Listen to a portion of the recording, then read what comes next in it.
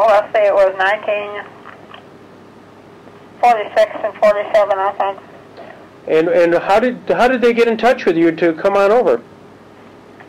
I was in the service, and uh, I had friends who were going over, and they told me. What was your role over there?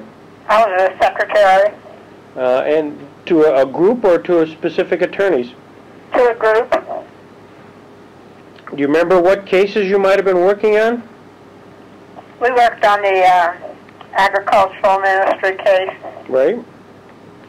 And, and as far as some of the attorneys who you probably worked for, uh, any particular names you remember? Well, there was um, McDonald, Right? um, O'Hare, Right? um,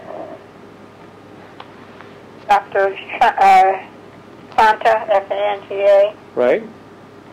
um, Caming, C-A-M-I-N-G. Right? Um, I say there was a Frenchman, but I can't remember his name. I think that was the group in our office. Did you ever get a chance to go into the courtroom? To go where? Into the courtroom? Yes, once.